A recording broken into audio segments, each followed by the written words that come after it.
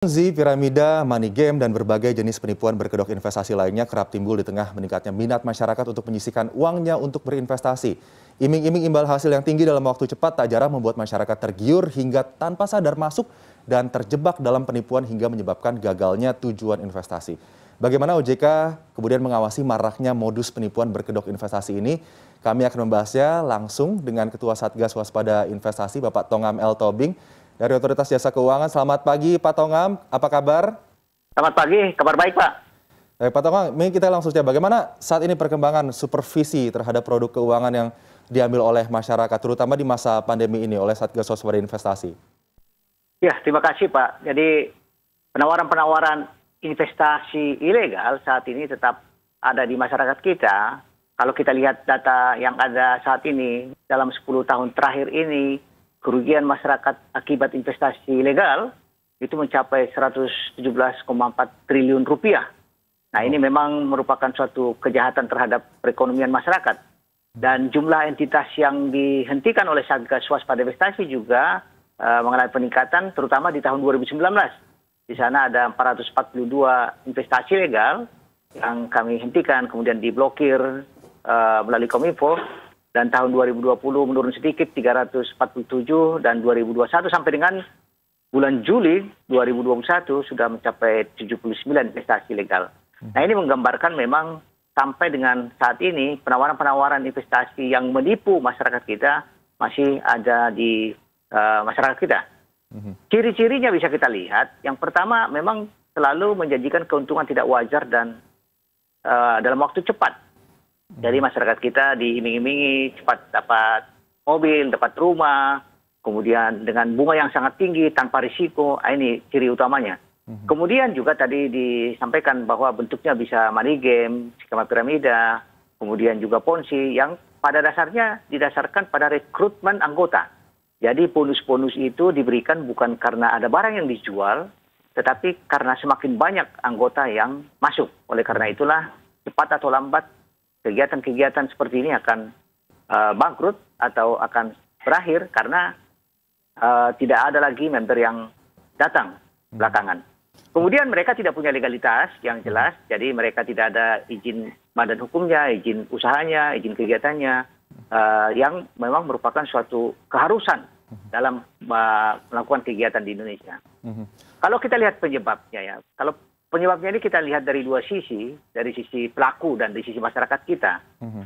Dari sisi pelaku, memang dengan kemajuan teknologi informasi saat ini sangat mudah membuat aplikasi, situs web, atau melakukan penawaran melalui media sosial, SMS, yang memang mudah uh, diakses oleh masyarakat kita saat ini.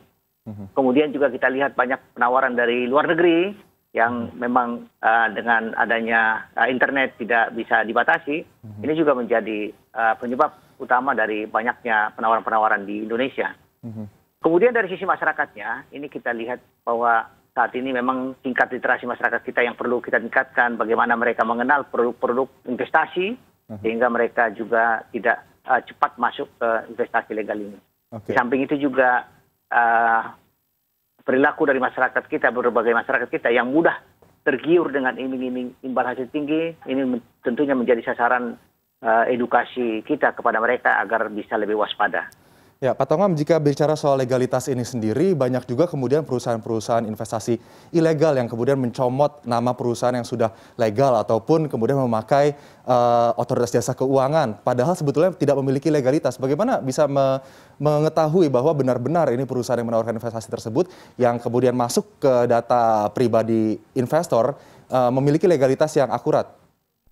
Iya, duplikasi atau pencatutan nama hmm. nama uh, perusahaan-perusahaan yang legal oleh para pelaku investasi legal ini memang saat ini marak juga terjadi di mana mereka melakukan penawaran yang mirip dengan entitas yang legal dari dengan membuat suatu website website dengan mengcopy website yang legal kemudian di belakangnya ditambahkan penawaran-penawaran investasi yang pada dasarnya bukan merupakan produk dari entitas yang legal tersebut. Mhm. Oleh karena itu kami juga menghimbau masyarakat apabila menerima penawaran-penawaran yang ciri utamanya adalah memberikan keuntungan yang tidak wajar dalam waktu cepat agar tetap mengecek kepada uh, kontak center uh, dari entitas yang uh, dinyatakan atau diduplikasi tersebut karena bagaimanapun juga entitas-entitas yang legal ini pada dasarnya memang tidak melakukan penawaran dengan keuntungan-keuntungan yang tidak wajar dan juga dengan uh, investasi tanpa risiko. Hmm. Kewaspadaan masyarakat untuk mengecek kembali mengenai entitas-entitas yang menawarkan ini perlu uh, dilakukan. Di samping itu juga perlu diwaspadai bahwa penawaran-penawaran investasi legal dengan mencatut uh, nama-nama perusahaan-perusahaan legal ini muncul di berbagai media sosial, hmm. di SMS, kemudian di uh, Telegram yang saat ini menjadi marak. Bahwa di dalam Telegram itu kita dibuat dalam satu grup, kita masuk di sana, kemudian ada penawaran-penawaran yang sangat menggiurkan, dan tentunya ada beberapa masyarakatku juga yang masuk ke investasi-investasi yang ditawarkan itu, karena memang memberikan keuntungan yang sangat besar dengan jumlah yang besar dan waktu yang sangat singkat. Mhm. Oleh karena itu masyarakat kami sampaikan bahwa di dalam Telegram apabila ada penawaran-penawaran investasi yang memasukkan masyarakat dalam satu grup itu adalah ilegal. Oke, Pak Tongam, coba kita mengilustrasikan jika seseorang kemudian mendapatkan tawaran investasi ilegal dari grup Telegram ataupun uh, SMS, apa kemudian yang uh, first thing first yang harus dilakukan oleh investor ini jika memiliki ketertarikan sebetulnya untuk uh, menerima penawaran yang masuk di grup-grup tersebut? Apa yang uh, bisa dilakukan untuk mencegah kerugian ataupun kegagalan investasi mereka? Ya, kami uh, mengharapkan masyarakat yang menerima penawaran-penawaran di dalam grup-grup seperti itu uh, agar memblokir pertama-tama kita blokir karena uh, di dalam peraturan di dalam jasa keuangan tentunya ada larangan kepada jasa keuangan untuk melakukan penawaran langsung melalui media sosial tanpa seizin dari nasabah. Oleh karena itu kami bisa pastikan bahwa penawaran-penawaran yang dilakukan melalui SMS atau Telegram atau media sosial tanpa izin dari nasabah itu adalah sesuatu yang uh, memang melanggar ketentuan.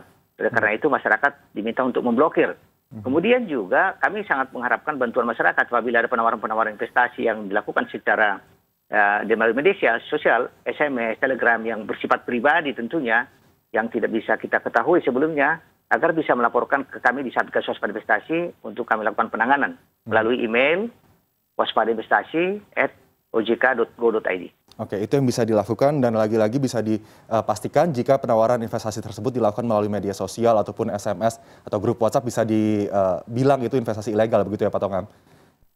Ya, sepanjang okay. memang itu tidak merupakan suatu uh, persetujuan kita untuk dilakukan uh, penawaran kepada kita. Oke, Pak Tongam, ini jika kita melihat banyaknya modus investasi ilegal yang berkembang di masyarakat, begitu di tengah juga uh, baru saja dikatakan oleh OJK ada peningkatan jumlah investor pasar modal saja mencapai uh, 93 persen peningkatannya di Juli 2021 ini. Sebetulnya di tengah meningkatnya minat investor untuk berinvestasi di kala pandemi COVID-19 saat ini, uh, modus penipuan apa yang paling uh, saat ini menonjol dan menjadi perhatian khusus dari Satgas Waspada Investasi, Pak Tongam? Iya, uh, banyak sekali memang modus-modus yang menawarkan investasi. Kalau kita lihat di bidang pasar modal, uh, masyarakat perlu hati-hati. Banyak sekali sekarang ini modus-modus yang berkedok uh, apa penasihat keuangan yang juga uh, melakukan kegiatan penasihat investasi yang harusnya dapat izin dari OJK. Oleh karena hmm. itu, investor di pasar modal kami harapkan supaya tetap keputusan investasi jual atau beli itu ada di jangan investor jangan diserahkan kepada yang lain. Karena itu uh, perlu kita sadari juga bahwa semua investasi itu memiliki risiko. Hmm. Jadi kalau ada yang menawarkan uh, investasi saham atau produk-produk di pasar modal yang memberikan keuntungan yang fix, misalnya satu persen per hari, itu adalah suatu penipuan tentunya. Karena bagaimanapun juga uh, investasi ini uh, tergantung pada mekanisme pasar. Baik, baik. Jadi harus melihat juga bagaimana fundamental kemudian volatilitas pasar yang terjadi dengan adanya sentimen-sentimen yang bergerak begitu. Tidak bisa hanya kita menitipkan uang tapi juga harus bisa mengawasi secara pribadi juga ya Pak Tongam. Pak Tongam ada juga ini robot trading yang juga marak saat ini. Bagaimana kemudian masyarakat bisa mengenali robot trading yang ini uh, boleh diambil begitu otomatisasi ini dan juga ini robot trading yang ini bisa menimbulkan atau uh, bisa menyebabkan fraud bagi para nasabah atau investor Pak Tongam. Ya, mengenai robot trading ini juga menjadi satu perhatian dari kami Satgas Waspada Investasi. Mm -hmm. Yang pasti kita sampaikan kepada masyarakat bahwa robot trading ini adalah suatu alat sebenarnya.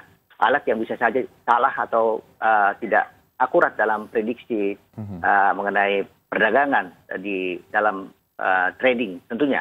Mm -hmm. Nah, uh, trading di melalui robot trading ini juga banyak sekali sekarang penawaran-penawaran yang ada dari beberapa perusahaan yang mengatakan bahwa uh, tidur saja dibayar begitu. Uh-huh. Jadi sehingga masyarakat kita akan uh, terbuai tentunya. Oleh karena itu kami mengharapkan kepada masyarakat juga agar lebih cerdas mengenai robot trading ini. Tidak ada sesuatu keuntungan yang pasti di robot trading ini karena di dalam trading ini pasti ada lawan kita juga untuk jual beli di mana mereka juga ya kadang-kadang untung kita juga kadang-kadang rugi seperti itu. Jadi uh, di dalam robot trading ini yang pasti masyarakat kita agar mengetahui bahwa ini hanya suatu alat yang memang bisa saja error atau tidak bisa memprediksi bagaimana gejolak uh, politik, kondisi bencana alam yang bisa mempengaruhi harga tentunya. Mhm. Dan juga kami sampaikan tadi bahwa di dalam robot trading ini jangan sampai masyarakat mempercayakan untuk menyerahkan uang investasi kepada uh, para agen atau uh, pihak lain. Hmm. Oleh karena itu, semua keputusan investasi ada pada tangan investor supaya memang risikonya itu bisa dimitigasi oleh para investor. Jadi penyesalan pun tidak ada karena kita sendiri yang memutus.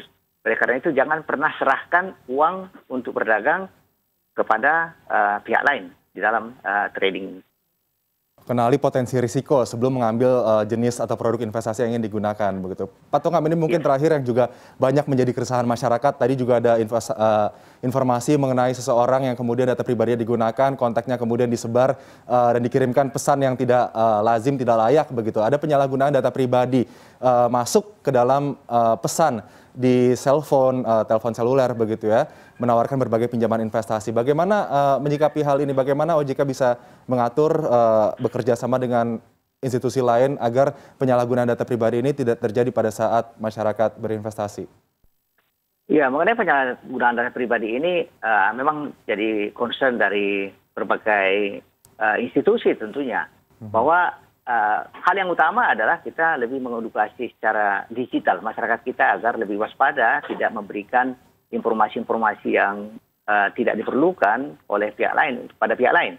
Contohnya yang paling nyata adalah dalam aplikasi pinjaman online ilegal, di mana para pelaku pinjaman online ilegal ini selalu meminta uh, nasabah untuk mengizinkan semua data dan kontak di HP untuk bisa diakses.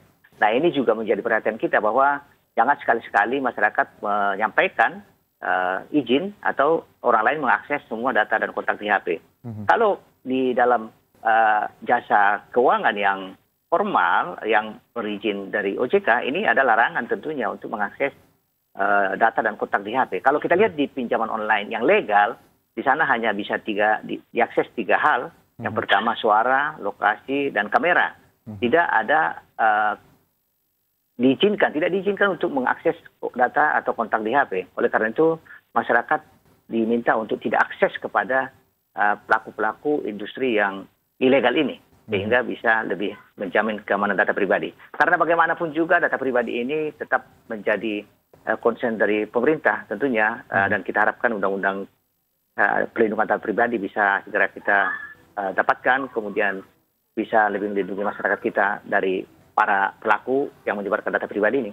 Hmm, baik, perlu di tekankan ya di garis bawahi boleh akses data yang diperbolehkan hanya suara, lokasi, dan kamera, tapi untuk masuk ke dalam kontak itu merupakan suatu yang ilegal oleh Satgas Waspada Investasi tidak diizinkan oleh OJK begitu ya Pak Tongam. Semoga dengan dialog ini bisa semakin terbuka pikiran masyarakat sehingga bisa lebih mengantisipasi jika ada pesan-pesan yang masuk dalam uh, cellphone mereka terkait dengan penawaran investasi ilegal sehingga tidak terjerat iming-iming palsu yang menyesatkan. Untuk sementara terima kasih Pak Tongam El Tobing Ketua Satgas Waspada Investasi sudah bergabung bersama kami pada pagi hari di CNN Indonesia Today. Selamat pagi Pak Tongam. Sehat selalu. Terima kasih Pak.